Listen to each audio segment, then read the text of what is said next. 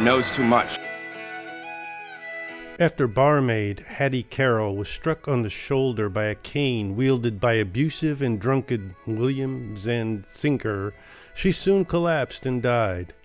It was only three or four sentences in the papers at the time, but young Bob Dylan seized on that story to write one of his most political songs, The Lonesome Death of Hattie Carroll. But where were the songwriters 40 years later when Margie Schoedinger was murdered? Margie was a successful black woman who ran her own company and was working on a PhD. She lived in a suburb of Houston and was happily married.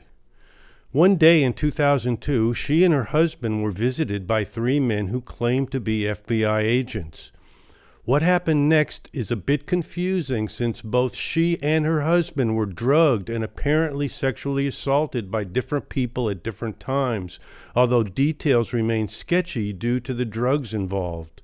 However, Margie says she wasn't drugged until coming face to face with George W. Bush, who raped her and said he would have her killed if she told anyone. Well, Margie didn't listen to that advice and immediately filed charges with the Sugar Land County Police and naturally instantly became the subject of around the clock surveillance and harassment. Margie never went to the press and spoke to no one about this case outside her own family, but by filing charges, she had created a matter of public record, one that was universally ignored by the entire North American media at the time. What the police failed to tell anyone, however, was that they had investigated her past and discovered that she had, in fact, known George Bush when they were both teens, which made the case particularly sticky and potentially explosive. Very soon, however, Margie was dead of a gunshot to the head, and death ruled as suicide. Meanwhile, her relatives seemed to have disappeared, perhaps in terror, and virtually nothing on the story can be found online anywhere except for what little tidbits appeared in the European press. There are no pictures of Margie to be found anywhere.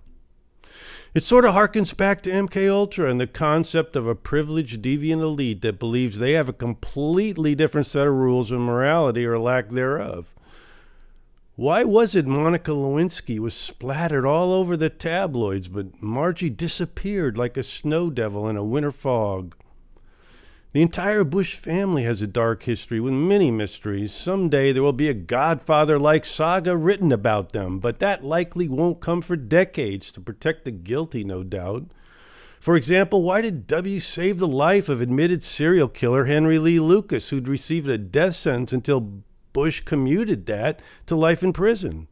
He was governor of Texas and had a reputation for killing more prisoners than anyone else at the time. Texas executed 152 during his tenure, apparently more than any other governor of any state in modern history, and during a time when crime rates were falling everywhere. So, what is it that made Henry Lee Lucas so special? Which brings me to Jeff Gannon who was issued a White House press pass and gained a reputation for asking fawning, powder puff questions, the sort Bush would have wanted to get asked. But an enterprising White House reporter started digging around on the internet and found sexy pictures of Gannon on militarystuds.com, where his sexual services were advertised for $200 an hour. After this disgrace, Gannon dropped out of sight for a while but tried to continue as a renegade journalist with explosive insider information. And during the 2004 election, he claimed John Kerry was gay and would be the first openly gay president if elected, a story that seemed to serve the interest of his good friend George Bush. You ask how I know they're friends? Well, here's a moment Bush and Gannon had after one of those press conferences.